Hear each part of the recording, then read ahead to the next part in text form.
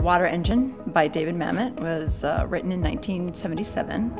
We use live Foley, and uh, the students produce the sound in concert with the action on the stage. It's set at the World's Fair, 1934. It is a play about a man who invents a water engine, and some people get in his way of sharing it with the world. It's a really interesting play to watch and to hear in different ways, but we put it together here, and it's a theater production that has never been seen at the College of Idaho. It's very new and innovative. I play Charles Lang, and he is the inventor of an engine that runs entirely on water.